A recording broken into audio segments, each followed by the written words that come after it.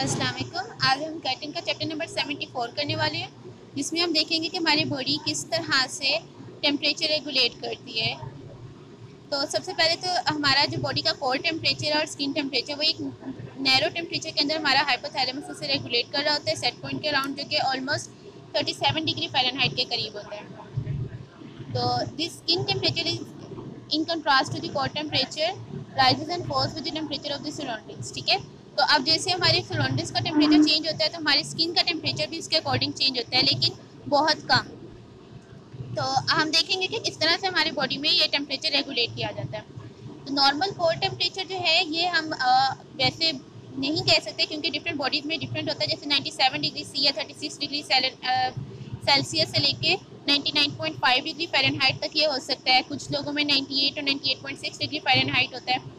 सो so, हम आ, मतलब normal कह देते हैं कि around about thirty seven point one degree Celsius जो है ये नॉर्मल कोर टेम्परेचर है। जिसके ये वो सेट पॉइंट है जिसके अगर इससे ज़्यादा होगा तो हाइपोथैलेमस इसे कम करके नॉर्मल करेगा। अगर इससे कम होगा तो हमारा हाइपोथैलेमस जो है या जो हमारे जितने भी टेम्परेचर रेगुलेट सेंसिंग हैं वो इसको ज़्यादा करके नॉर्मल कर देंगे। तो body temperature is control by balancing heat production and heat loss ठीक है?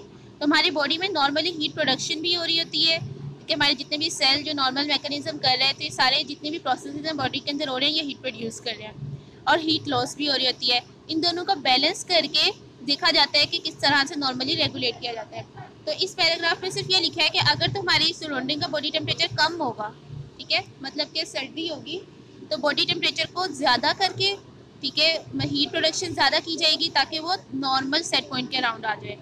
और अगर बॉडी का टेम्परेचर मतलब ज़्यादा होगा, अगर बाहर ज़्यादा गर्मी है या इस तरह तो स्वेटिंग और वेपरेशन से बॉडी टेम्परेचर को नॉर्मल लाया जाएगा। तो ये पैराग्राफ सिर्फ़ इस चीज़ को बता रहा है। नाउ अब हम ये देखते हैं कि हमारी बॉडी में जब सर्दी होती है तो आपको पता है कि हमारी बॉडी हीट प्रोड्यूस करेगी। तो वो हीट प्रोडक्शन किस तरह से की जाती है? एक तो सबसे पहले इंपॉर्टेंट बात है कि heat production is the principle by product of metabolism ठीक है? बाय प्रोडक्ट हमारी बॉडी में जितने भी मेटाबॉलिज्म होते हैं हीट जो है, इसका बाई प्रोडक्ट है। मतलब हीट जनरेट हो ही रही होती है किसी न किसी केमिकल रिएक्शन के थ्रू तो मेटाबॉलिक रेट ऑफ़ बॉडी पे भी डिपेंड करता है। अगर हमारी बॉडी का मेटाबॉलिज्म मेटाबॉलिक रेट ज़्यादा हो जाता है, जैसे एक्सरसाइज में मेटाबॉलिक रेट ज़्यादा हो जाता है तो हीट प्रोडक्शन ज़्यादा हो जाती है।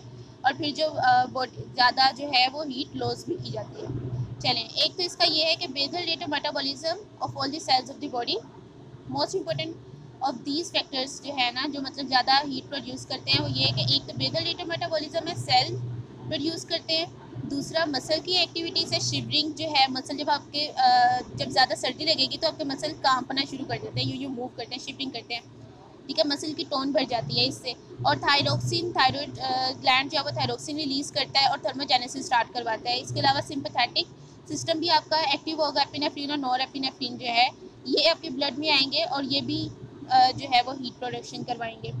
एक्स्ट्रा मेटाबॉलिज्म जो है वो केमिकल एक्टिविटी के फॉर्म में ये ब्राउन फैट करवाते हैं, ये हम आगे चैप्टर में पढ़ने वाले हैं सब कुछ डिटेल में। और इसके अलावा digestion absorption storage of food ये सब चीज़ें भी। तो बेसिकली हीट प्रोडक्शन अब किस तरह से हमारी बॉडी में नॉर्मली हो रही है कि एक तो सेल्स मेटाबॉलिज्म कर रहे हैं उससे मसल की एक्टिविटी जो है, जो भी हम अपनी बॉडी में मसल की मूवमेंट ये सब कुछ करते हैं शिवरिंग होती है सब चीज़ें हीट प्रोड्यूस करवाती हैं। हमारी बॉडी में जो थायरोक्सिन लेवल है, ये हीट प्रोड्यूस करवा रहा है, ठीक है? थायरॉयड ग्लैंड से जो थायरोक्सिन प्रोड्यूस होता है, ठीक है बेदर मेटाबॉलिक रेट को इंक्रीज़ कर देता है।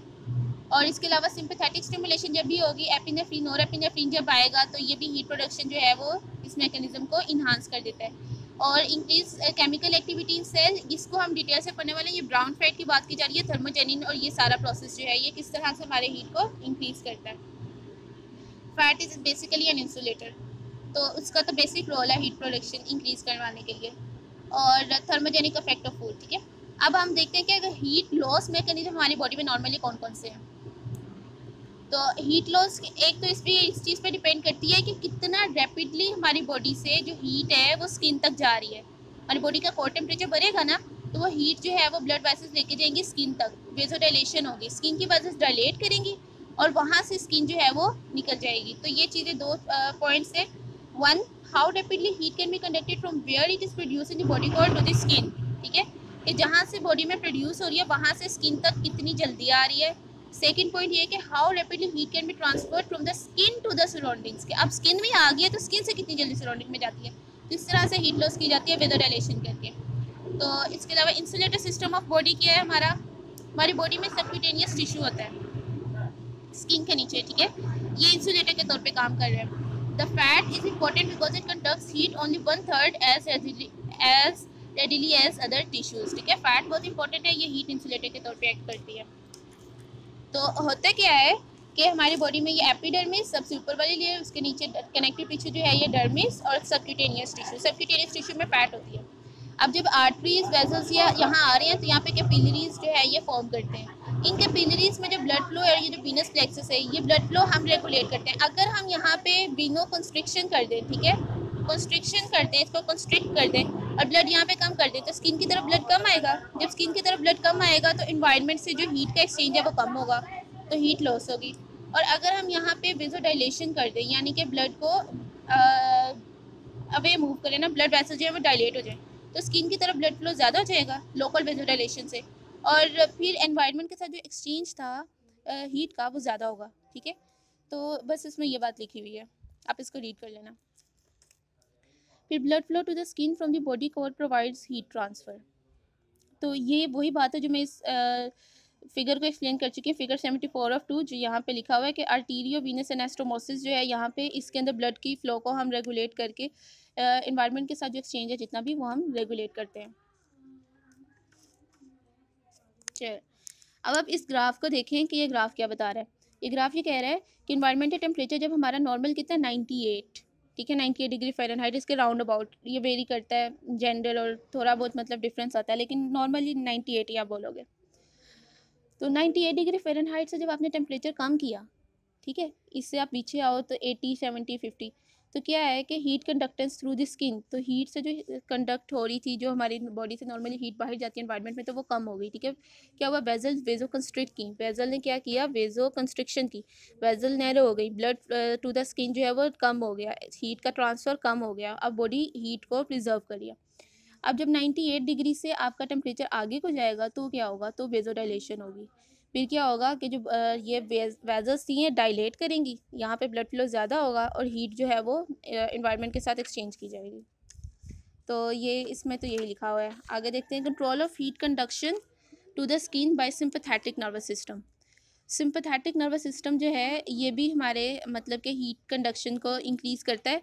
एड्रीनलिन और एड्रीनलिन ब्लड में जब प्रेजेंट होंगे तो वो भी वीनस फ्लेक्सस पे भी इफ़ेक्ट डालेंगे, ठीक है? ये वेजोडाइलेशन वगैरह, ये सारा कॉन्सेप्ट जो है सिंपथेटिक नर्वस सिस्टम में भी आता है। गाइटिन में बहुत सी चीज़ें रिपीटेडली लिखी होती हैं, एक बार लिख के फिर आगे बार बार आ जाते हैं तो इन्होंने आगे इसको बहुत अच्छा एक्सप्लेन किया हुआ है। वहाँ पे स्वेटलैंड पे इफ़ेक्ट इसका कैसे होता है? ड्रीनलिन नोडाड्रीनलिन क्या करता है? तो रेपिटेटेड चीज़ें हैं, इतना छोटा सा चैप्टर है, थोड़ी सी बात लिखी हुई है, लेकिन बार बार बातों को दोहरा दोहरा कर उन्होंने बार बार लंबा कर दिया चैप्टर बहुत ईजी है वैसे, अगर आप एक बार भी पढ़ोगे, आपको याद हो जाएगा। Basic physics of how heat is loss from the skin surface तो उसमें उन्होंने बताया इसमें बेसिक प्रिंसिपल जो आप फिजिक्स में पढ़ते आए हैं रेडिएशन कंडक्शन वेपोरेशन ठीक है तो ये सब क्या है? तो ये अब हम इस डायग्राम को देख के समझते हैं कि ये इतने लंबे पैराग्राफ में जो इन्होंने दो तीन लाइनें बार बार रिपीटेडली लिखी हुई हैं, वो क्या है जी? हमारी बॉडी में कनेटिक एनर्जी है, ठीक है? हीट जो है वो is a form of kinetic energy आपने पढ़ा हुआ है कनेटिक एनर्जी का फॉर्मूला फिज़िक्स में M V square over R ठीक है? तो ये क्या होता है कि जो जितनी भी हीट हमारी बॉडी में हमारे मॉलिक्यूल्स जो है वो मोशन में होते हैं। जब वो आ, हमारी बॉडी सरफेस से कॉन्टैक्ट में आते हैं तो अवेपोरेट कर जाते हैं। तो ट्वेंटी टू परसेंट जो हीट लॉस है वो बॉडी का अवेपोरेशन की फॉर्म में होता है। कुछ जो है वो हमारी बॉडी में आपको पता है इंफ्रारेड रेडिएशन जो है ये एब्जॉर्ब भी कर रही होती है हमारी बॉडी लॉस भी कर रही होती है। तो सिक्सटी परसेंट जो है ना वो इसकी फॉर्म में होता है और वेव लेंथ इनकी ऑलमोस्ट जो है फाइव से ट्वेंटी माइक्रोमीटर होती है इंफ्रारेड रेडिएशन है। और एयर में भी कंडक्ट होती है। इसके अलावा जो जहाँ पे मतलब जो भी ऑब्जेक्ट के साथ जो आपका ट्रांसफ़र होता है ना, उससे आप कंडक्शन बोलोगे। वेव्स के थ्रू रेडिएशन है। वाटर वेपर थ्रू एपोरेट हुए तो एपोरेशन है। कंडक्शन है अगर ऑब्जेक्ट के साथ है। कंडक्शन बस ऑलमोस्ट थ्री परसेंट होती है वेपोरेशन ट्वेंटी टू परसेंट और रेडिएशन का बहुत ज़्यादा रोल है सिक्सटी परसेंट अब ये ये कह रहे हैं कि अगर आपकी बॉडी का टेम्परेचर ज़्यादा है अगर आपका बॉडी का टेम्परेचर ज़्यादा और बाहर का कम है तो हीट ज़्यादा लॉस होगी। ठीक है? और अगर आपकी बॉडी का टेम्परेचर कम है और बाहर का ज़्यादा है तो फिर हीट बॉडी गेन करेगी ज़्यादा। ठीक है? तो ये तो नॉर्मल चीज़ है। इट इसमें कोई रॉकेट साइंस वाली बात नहीं है। अच्छा व्हाट इज़ कन्वेक्शन कन्वेक्शन ये है कि जब आपकी बॉडी से मतलब हीट रिलीज़ हो रही है ना तो अब वो क्या है? मतलब कि आपकी बॉडी हीट रिलीज़ कर रही है तो वो एयर करंट्स क्या होते हैं? मतलब आप आपने कन्वेक्शन ये परी हुई है कि जो भी गर्म हवा होती है, जब भी आप कोई, इसके एग्जांपल मैं कैसे दे सकती हूँ? आप पानी बॉईल कर रहे हो, ठीक है? पानी बॉईल कर रहे हो तो उसके ऊपर से जो भाप निकलती है वो हमेशा ऊपर को जाती है, ठीक है? कोई भी चीज़ इस तरह से है जो गर्म मतलब जो गर्म हवा होती है ना, वो ऊपर को मूव करती है। तो क्या होगी, जो गर्म हवा आपकी बॉडी के इर्द गिर्द है, वो ऊपर को चली जाएगी, ठीक है? और फिर जो नीचे से जो ठंडी हवा है ना, वो आपकी बॉडी के जो सरफेस है, उसके गिर्द एक दोबारा से एक लेयर बना देगी और फिर आपकी बॉडी उसके अंदर हीट रिलीज़ करेगी। फिर वो ऊपर को जाएगी, ठीक है? तो इस तरह से कन्वेक्शन के थ्रू भी हीट रिलीज़ की जाती है। तो ये इन्हें कहते हैं एयर करंट्स कन्वेक्शन तो ये जितनी भी मैंने अभी बात बताई है, इस डायग्राम में सारी, यही यहाँ पे लिखी हुई है। तो ये देख लें, ये फाइव टू ट्वेंटी माइक्रोमीटर जो रेडिएशंस की वेवलेंथ है, जो रेडिएशन के थ्रू हमारी बॉडी से निकलती है। तो इसको देख लीजिएगा। सॉरी मैं कैमरा सेट नहीं किया। Ten to thirty times the wavelength of the light rays okay ये वही बात बता रहे हैं कि अगर बॉडी टेम्परेचर ज़्यादा होगा तो फिर हीट ज़्यादा लॉस होगी। अगर सराउंडिंग का टेम्परेचर ज़्यादा होगा तो हीट ज़्यादा गेन होगी। अच्छा ये कंडक्शन और कन्वेक्शन हम देख चुके हैं। और फिर इसके बाद कन्वेक्शन ठीक है? अब अब देखते हैं कि कूलिंग अफेक्ट ऑफ़ विंड जो है हाँ ये भी हमने देख लिया ऑलमोस्ट अच्छा कूलिंग क्या है कि ये विंड का अफेक्ट क्या होता है? ये गाइटर ने दो तीन जगह इसको लिखा हुआ है, ये एक बार देख लें. विंड अगर तो ये, इसकी वेलोसिटी ज़्यादा होगी ना, जैसे देखें the cooling effect of wind at low velocity is about proportion to the square root of the wind velocity यानी कि अगर विंड की वेलोसिटी ज़्यादा है ना तो वो आपकी बॉडी को ज़्यादा कूल करेगी. यानी ठंडी हवा चल रही होती है तो बॉडी को सर्दी लगती है. For instance a wind four miles per hour is about twice as affected for cooling as a wind one mile per hour यानी कि अगर जो हवा की स्पीड है वो फोर माइल पर आर है ना तो ये आपकी बॉडी को दो गुना ज़्यादा ठंडा कर सकती है वन माइल पर आर चलने वाली हवा की बनस्बत। तो इट्स नॉर्मल इसमें कोई इतनी बड़ी बात नहीं थी। Okay ji conduction and convection of heat from a person suspended in water अब ये कह रहे हैं, ये तो एक बंदा जो था, ये एयर में बैठा हुआ है, ठीक है? एयर में कंडक्शन कन्वेक्शन का प्रोसेस इतना रैपिड नहीं होता। लेकिन अगर अब वही बंदा आप उसे पानी में डाल दोगे तो वाटर में बहुत ज़्यादा कंडक्शन और कन्वेक्शन का जो प्रोसेस है, वो बहुत फास्ट होता है।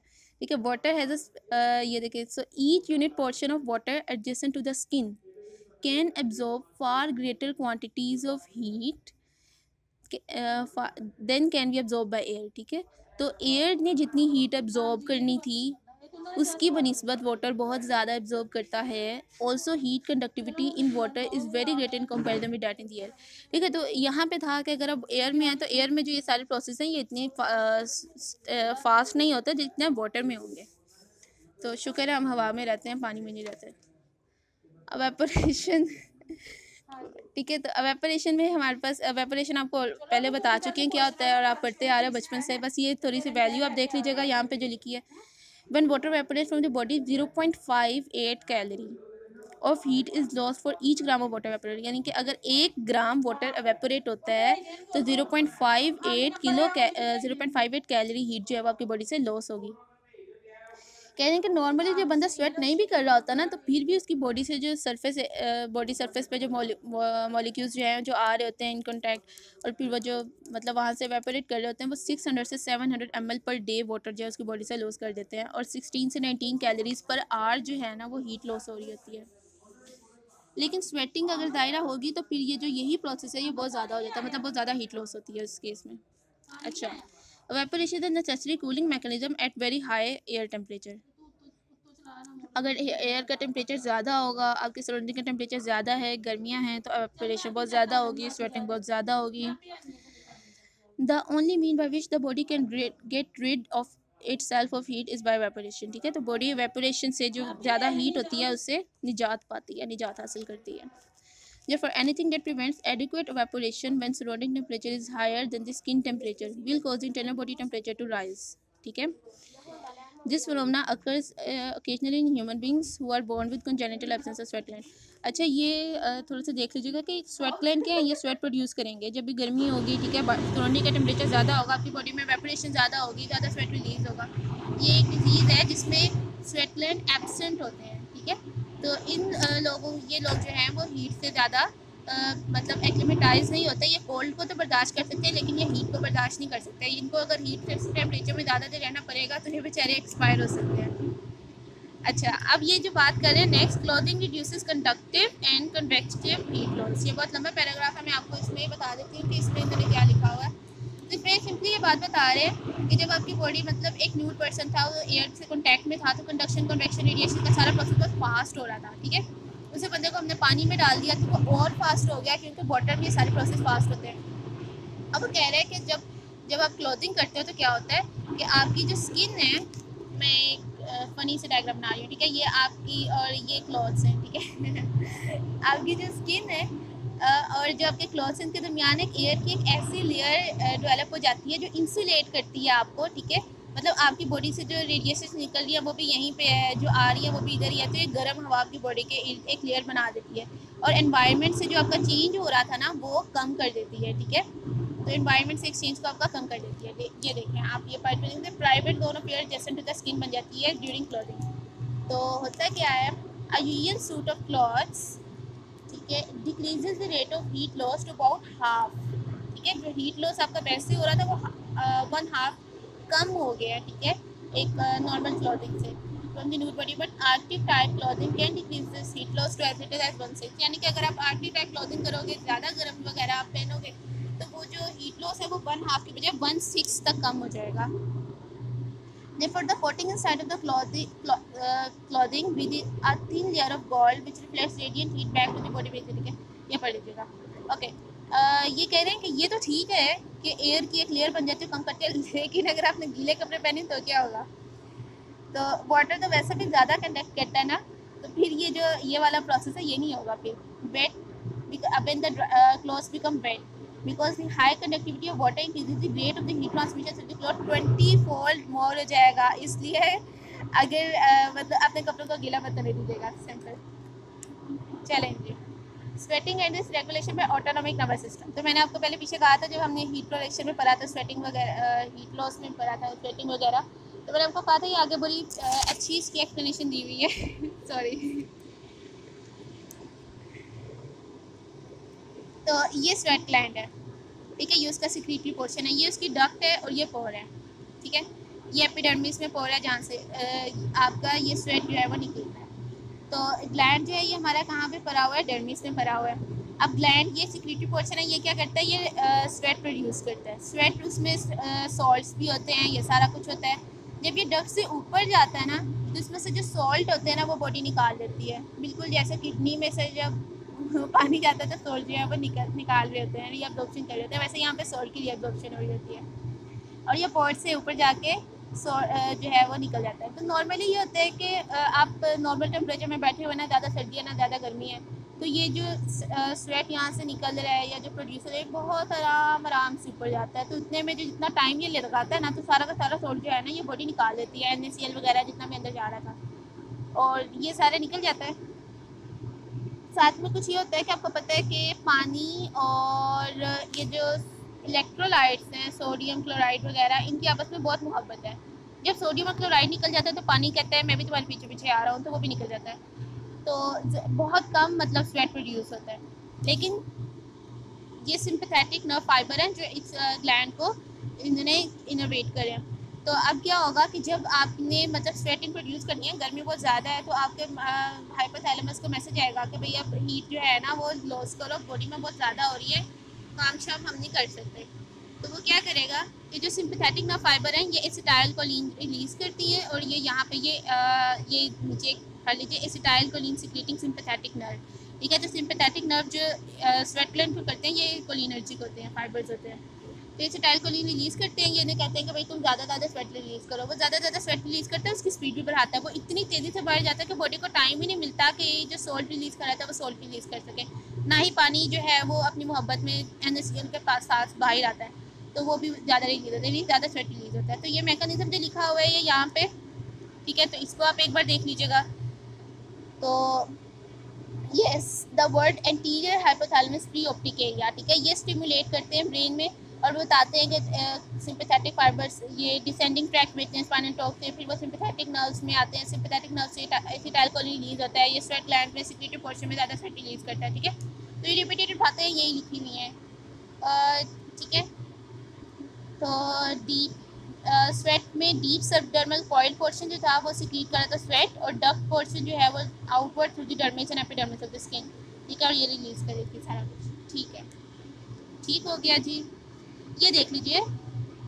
Composition of the precursor secretion is precursor secretion जो इसने रिलीज़ किया था ना, वो प्रिकर्सर सिक्रीशन होती है या प्राइमरी सिक्रीशन होती है। जो डक्स जिससे जब ऊपर जाती है, अंदर से सॉल्ट वगैरह निकल जाते हैं और जो पोर से निकलता है, वो स्वेट होता है। ठीक है? इसको देख लीजिएगा। Okay composition of precursor secretion is simple to that of plasma ठीक है? तो प्रिकर्सर सिक्रीशन जो इसने रिलीज़ की थी अब इसमें वही चीज़ें हैं जो प्लाज्मा में है, प्रोटीन के अलावा। मतलब प्लाज्मा में तो प्रोटीन्स भी होती है ना, प्रोटीन्स को माइनस कर दे तो बाकी जो चीज़ें वाटर इलेक्ट्रोलाइट वो ऑलमोस्ट सेम होते हैं। लेकिन जब ये यहाँ पे प्रिकर्सर में, जब ऊपर जाएगी तो सोल्ट निकल जाएगा, फिर सेम नहीं रहेंगे। अच्छा तो जो नॉर्मल है ना, वो ये, पढ़ लीजिए। तो आपके पास जो स्वेट जब आहिस्ता आहिस्ता स्वेट रिलीज़ हो रहा है, ठीक है, अभी आप नॉर्मल टेम्परेचर में बैठे हो, ज़्यादा गर्मी नहीं है तो आहिस्ता आहिस्ता ये ऊपर जाता है। तो जो नॉर्मल अमाउंट में यहाँ से पानी के साथ जितना सोल्ट रिलीज़ होना था पोर्ट से, वो कितना हो रहा है जी? फाइव मिली क्वेलन पर लीटर ठीक है, ये नॉर्मल है। लेकिन अब हम आगे देखते हैं कि जब स्ट्रॉन्ग स्टिमुलेशन होगी तो क्या होगा जी? Large amount of precursor secretion एक तो सिक्रीशन बहुत ज़्यादा लार्ज होगी ड्रग से, ठीक है? दूसरा ये जितना भी रिलीज़ हो रहा था सोल्ट वो कितना fifty to sixty milliequivalent per litre बहुत ज़्यादा है फाइव मिली क्वेलन से तो। ठीक है? और जब ये ग्लैंडुलर सिक्रीशन में जाएगा तो फिर इसमें तो थोड़ा बहुत एब्जॉर्ब कर लिया जाएगा और फिर थोड़ा सा गुजारा हो जाएगा। लेकिन जो एक्लिमेटाइज पर्सन होते हैं ना, हम ये जब भी बात करते हैं एक्लिमेटाइज से क्या होता है? एक्लिमेटाइज वो पर्सन होते हैं जिन, जो गर्मियों में रहने के आदि हो चुके हैं, ठीक है? तो उनकी बॉडी टेम्परेचर जो है वो इतना ज़्यादा रिस्पॉन्स नहीं करती गर्मी से, ठीक है? उनको आदत हो चुकी होती है। अब जो नॉर्मल एरियाज़ में रहने वाले बंदे हैं, वो ऐसी जगह जाएँ जहाँ बहुत ज़्यादा गर्मी होती है या इस तरह से तो वो ज़्यादा फील करते हैं। तो इसलिए ये सारा मैकेनिज्म बॉडी के अंदर होता है। क्या कि acclimatization of sweating mechanism to heat the role of aldosterone तो एल्डोस्टेरोन क्या करता है? ये सोडियम को निकाल देता है। अब ये क्या करेगा? ये अंदर से सोडियम निकाल लेगा, ठीक है? और ये सारा प्रोसेस ठीक है? वही जो आपने किडनी में इसका रोल पर है कुछ इसी तरह का यहाँ पे है, ठीक है? अब अनॉर्मल अनएक्लिमेटाइज पर्सन ठीक है? अब वो बंदा जो आदि नहीं था गर्मियों का, ठीक है? वो एक ठंडे माहौल में रहने वाला था, मरी का रहने वाला बंदा कराची पहुँच गया। तो अब उसके साथ क्या होगा कि वो नॉर्मल बंदा था, वो वन लीटर स्वेट जो है, वो रिलीज़ करता था एक घंटे में। अब जब इस बंदे को एक से छः वन टू सिक्स वीक्स के लिए ऐसे इन्वायरमेंट में छोड़ दिया जाए जहाँ बहुत गर्मी हो तो ये two to three litre sweat produce करेगा पर आर और इस वजह से क्या होगा कि टेन टाइम्स की नॉर्मल रेट और हीट प्रोडक्शन जो है वो टेन टाइम्स जो है वो उसकी ज़्यादा हो जाएगी, ठीक है? तो इस बंदे को ज़्यादा मसला होता है। अब एक्लिमेटाइज हो जाएगा जब ये बंदा मतलब जब ये वहाँ पे रहना शुरू कर देगा, ठीक है? अब एक ऐसे इलाके में रहना शुरू कर दे जहाँ पे गर्मी है या वही इलाका जो बंदा शुरू से ऐसे इलाके में रहता है, वो एक्लिमेटाइज पर्सन होता है। तो उनमें क्या होता है? फर्दर डिक्रीज इन कंसनट्रेट उनमें जो सोडियम क्लोराइड और स्वेट के साथ ये चीज़ें रिलीज़ हो रही होती है ना सॉल्ट्स ये बहुत कम होते हैं, ठीक है? मोस्ट ऑफ़ दिस इफ़ेक्ट जो है, ये क्यों होता है? उनमें क्यों सोल्ट कम रिलीज़ हो रहे थे क्योंकि increase secretion of adrenal adrenocortical glands which result from a slight decrease in sodium chloride concentration ठीक है एक्स्ट्रासेलुलर फ्लूइड में सोडियम क्लोराइड कम होता है ज़रा सा तो फ़ौरन से जो एड्रिनोकॉर्टिकल ग्लैंड होते हैं हमारी बॉडी में, ठीक है एड्रीनल ग्लैंड होते हैं ना, ठीक है, ये फ़ौरन से क्या करते हैं, ये रिलीज़ करते हैं एड्रीनलिन एड्रीनलिन से कहते हैं कि भाई सोडियम कम हुआ है, तुम जाके ना, जहाँ से भी सोडियम तुम ले सकते हो ना, जाके ले लो, ये डाकू होता है. ये सोडियम को ना मतलब चुरा लेगा. तो ये जहाँ से भी सोडियम लेके जा रहा है ना मतलब तजारत का माल जा रहा है सोडियम के साथ। चाहे वो सेटलैंड है, चाहे वो किडनी है तो ये वहाँ से जाकर सोडियम को निकाल देगा और सोडियम को नॉर्मल कर देगा। तो एक्लेमेटाइज जो बंदे होते हैं, उनमें ये फ़ायदा होता है कि उनमें सोल्ट्स वगैरह इतने ज़्यादा रिलीज़ नहीं हो रहे होते ठीक है? और इनकी स्वेट की प्रोपोर्शन जो है ना, वो भी कम होती है अनएक्लिमेटाइज बंदों की बनस्बत। Gram of salt each day for the first few days ठीक है? अच्छा देखो, अब ये बंदा शुरू शुरू में मरी से कराची गया, मरी रहने वाला बंदा गर्मी वाले इलाके में गया तो पहले जो उसका स्वेट रिलीज़ हो रहा था वो फाइव से थर्टी ग्राम था। उसके बाद उसे जब आदत हो जाएगी उसे वहाँ पे रहने वाली तो फिर उसका जो स्वेट रिलीज़ हो रहा है और जो लॉस हो रहा है सोल्ट का, वो फाइव ग्राम पर डे है। ठीक है? अच्छा अब एनिमल में क्या होता है? पेंटिंग का मैकेनिज्म होता है। इधर पेंटिंग बताई है। एनिमल्स में कहते हैं? जैसे डॉग में आपने देखा है कि गर्मियों में ना ज़ुबान बाइट को निकाल के फिर रहे होते हैं। तो वो क्या होता है जी? उनके अंदर स्वेट ग्लैंड इतने ज़्यादा एक्टिव नहीं होते। मतलब कि बहुत ज़्यादा नहीं। उनमें ये होता है कि उनके सरफेस एरिया में एक तो फर होती है उनकी, ये एक इंसुलेटिंग एयर प्रोड्यूस कर देती है उनके गिर ठीक है the skin of most layer animals is not supplied with sweat gland तो स्वेट ग्लैंड्स उनको जो है ना, नहीं होते। तो वो क्या करते हैं कि अपनी जो ब्रीदिंग जो ब्रीथ इन और ब्रीथ आउट जो वो कर लेते हैं, वो ज़्यादा कर देते हैं। और जो पेंटिंग मैकेनिज्म होता है, उससे वो एयर जो है वो वेपोरेट करके वेपोरेशन मैकेनिज्म अपना ज़्यादा कर देते हैं। तो इस वजह से वो नॉर्मल कर देंगे, अपने जो हीट ज़्यादा हुई थी, उसको कम्पनसेट कर लेते हैं। अच्छा जी। Regulation of body temperature role of hypothalamus तो हमारा हाइपोथैलेमस जो है, ये normal set point 97 degree Fahrenheit के इर्द अपने टेम्परेचर को रेगुलेट करेगा। ये बात हम पहले पढ़ चुके हैं बार बार बताई जा रहे हैं। अच्छा ये यहाँ पे थोड़ा सा काम की बात आ रही है। role of anterior hypothalamic preoptic area in the thermostatic detection of temperature. तो ये हमारे जो हाइपोथैलेमस का एरिया है एंटीरियर हाइपोथैलेमिक प्रीऑप्टिक एरिया ठीक है? ये हीट सेंसिटिव न्यूरॉन्स है। हमारी हाइपोथैलेमस में ज़्यादा हीट सेंसिटिव न्यूरॉन्स होती हैं और हमारे जो पेरिफेरल सेंटर्स हैं, वहाँ पे ज़्यादा न्यूरॉन्स जो होती हैं, वो होती हैं कोल्ड के लिए, ठीक? तो डिटेक्शन ऑफ़ टेम्परेचर पर receptors in the skin and body tissue